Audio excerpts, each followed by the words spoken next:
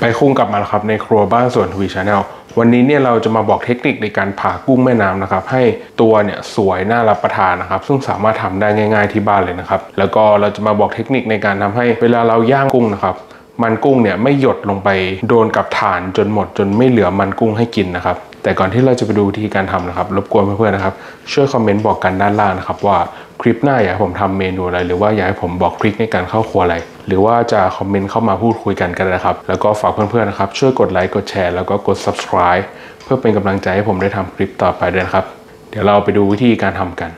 ไปดูกันเลย ก็เดี๋ยวเรามาเริ่มจากการผ่ากุ้งก่อนนะครับอันนี้ก็ให้เลือกซื้อกุ้งมานะครับ ขนาดก็แล้วแต่ความชอบนะครับ จากนั้นก็อันนี้ตัดตรงแหลมๆมันออกไปแล้วนะครับ แล้วก็ตัดตัวหนวดมันออกไปแล้ว ก็จะ เหลือแบบนี้นะครับสำหรับขาเนี่ยจะตัดหรือไม่ตัดก็ได้นะครับ ตรงนี้เนี่ยก็ตัดออกไปให้หมดนะครับ จากนั้นก็เอากันไกรนะครับ ตัดตรงหัวแบบนี้นะครับนี่ตัดขึ้นมาถึงปากเลยนะครับ จากนั้นก็ตรงตัวมันนะครับ อันนี้ไม่ต้องใส่เอ่อไม่ต้องแทงเข้าไปถึงเนื้อมันมากนะครับ ตัดให้มันแค่พอขาดนะครับ ไปถึง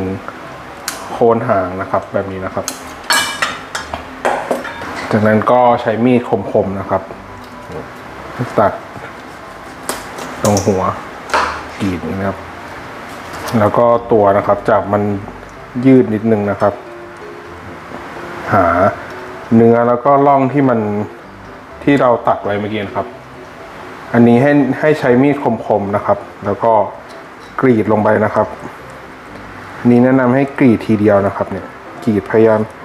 กรีดลงไปแต่กรีดแบบอย่าถ่ายอย่างเงี้ยครับอย่าแบบอย่างเงี้ยมันจะทำให้ตัวเนื้อกุ้งมันไม่สวยนะครับ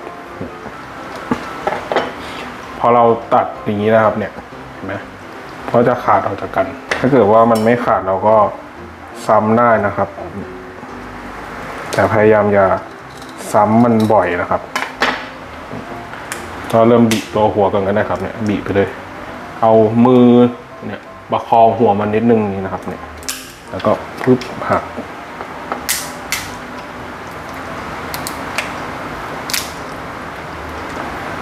ตัวหัวกุ้งมันจะมีมันอยู่นะครับ ตัวเนื้อเราก็ทำเหมือนกันนะครับเนี่ย มันก็จะออกมาเป็นแบบนี้นะเห็นไหมครับเนี่ย แล้วก็ให้ดึงถุงตรงนี้ออกนะครับ ถุงตรงปากมันทิ้งไป แล้วก็ตรงเส้นดำเนี่ยครับ เห็นไหมดึงมันออกไปเลยนะ แต่มันจะมีดำๆอยู่นิดหน่อยนะครับ ให้เราแบบดึงดึงออกแล้วก็นำไปล้างน้ำนิดนึงนะครับ แล้วก็อันนี้เป็นเทคนิคนะครับนี่ เวลาเราย่างเนี่ย บางทีมันมันจะหยดลงไปหมดใช่ไหมครับ เทคนิคก็คือให้เราตักมันออกก่อนนะครับ ตักมันออกไว้ก่อน เอาใส่ถ้วยไว้นะครับอย่างนี้แยกไว้ แล้วก็เอากุ้งใส่จานไว้ก่อน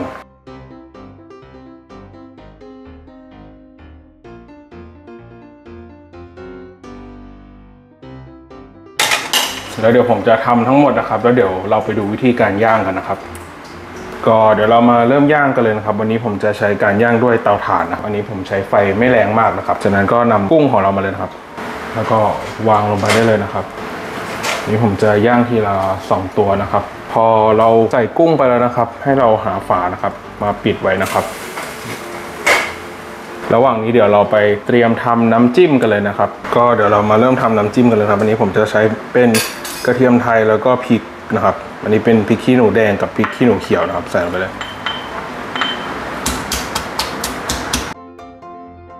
เดี๋ยวผมก็จะใส่เกลือลงไปนะครับ อันนี้ใส่ไปนิดหน่อยนะครับ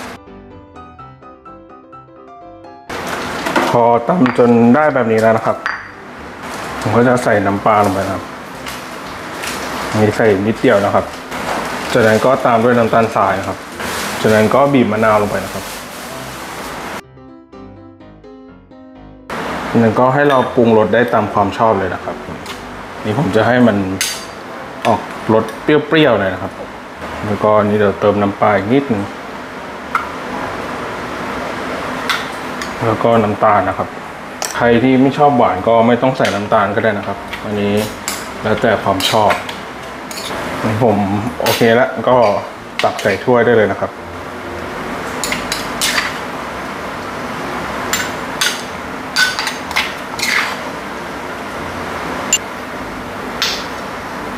ก็อันนี้หลังจากเราย่างไปได้สักพักนะครับ กุ้งของเรามันก็จะ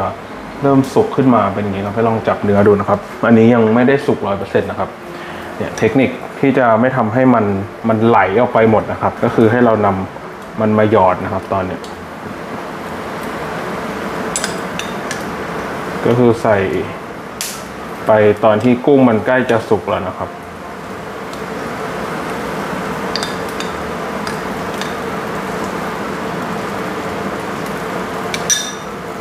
เราก็ปิดมันไว้อีกรอบหนึ่งนะครับ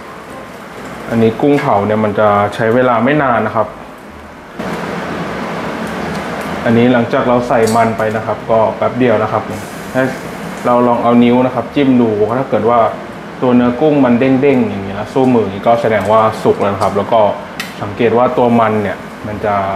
เดือดขึ้นมาแล้วนะครับ ก็อย่างนี้ก็ใช้ได้นะครับเราไม่ไม่ต้องแบบให้มันสุกมากนะครับ เพราะว่ามันจะไม่อร่อยนะครับ